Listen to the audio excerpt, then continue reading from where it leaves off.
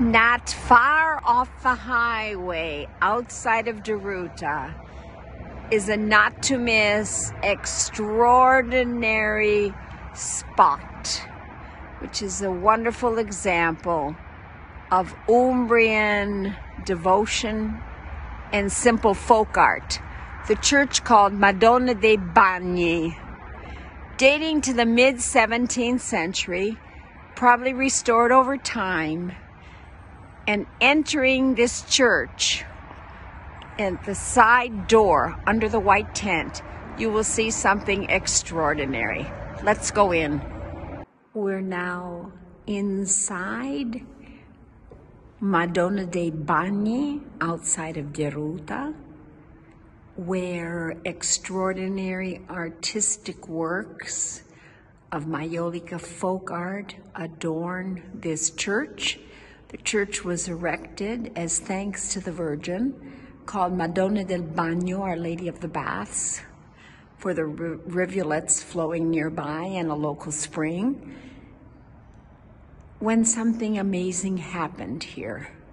In the mid 17th century, a Capuchin priest found a broken piece of pottery, probably the bottom of a cup, with the image of the Virgin and Child and he tenderly picked it up, hung it on an oak tree.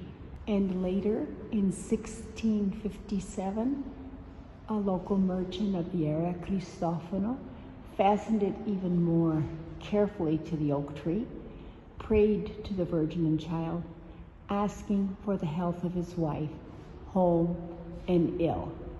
And here you can see the Virgin with Child the broken piece of pottery, which had been hung on the tree by Cristofano, praying to the, for the health of his wife.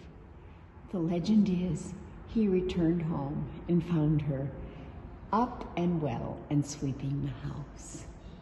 And all of the shrine derives from this miracle.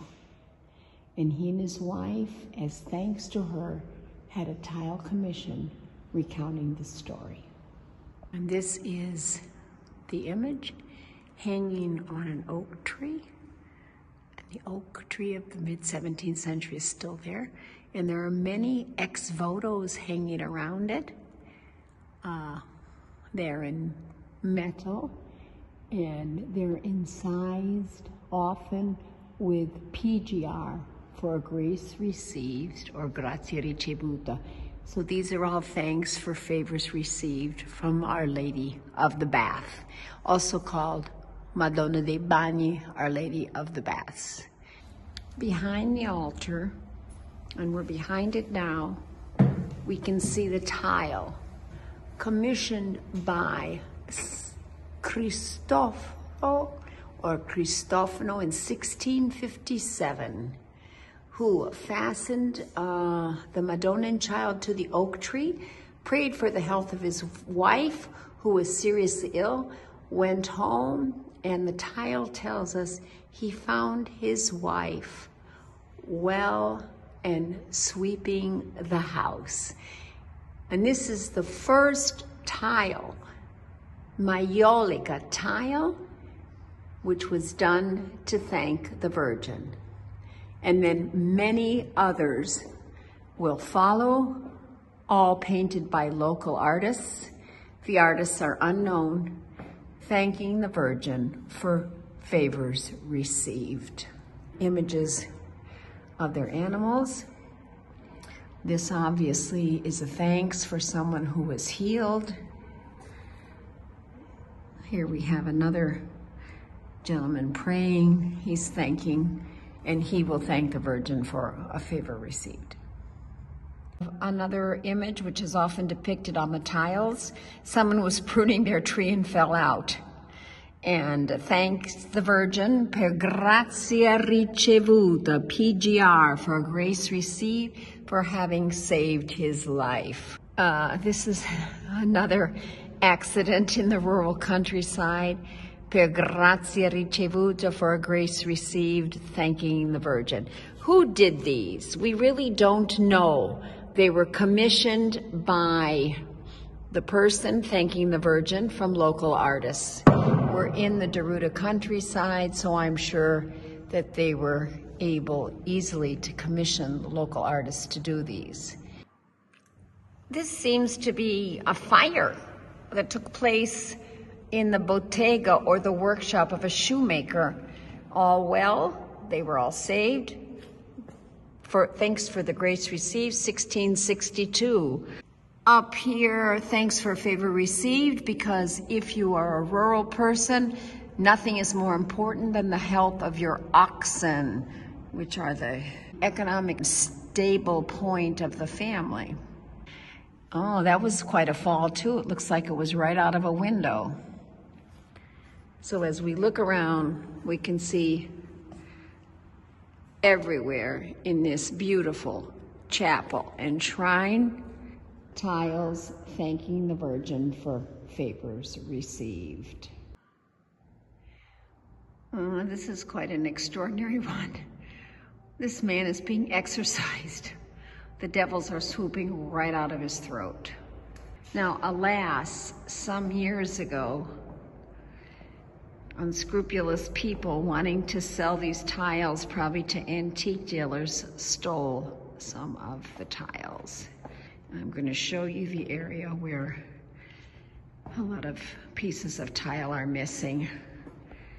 And now you can only get into this wonderful sanctuary of Maiolica ex votos when the guards are here. There's a community nearby that keeps a close eye on this extraordinary place, Madonna dei Bagni. And not all of the tiles are ancient ones of the 17th century, 18th century.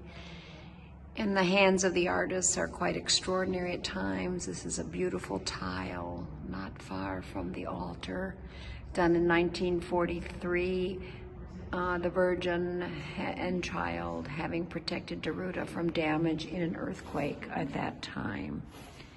And over on uh, the other side of the altar, there's another image of the Virgin having protected Deruta, and this time it's the children of Deruta from the ravages of polio, probably at the time they were being vaccinated. This is 1952.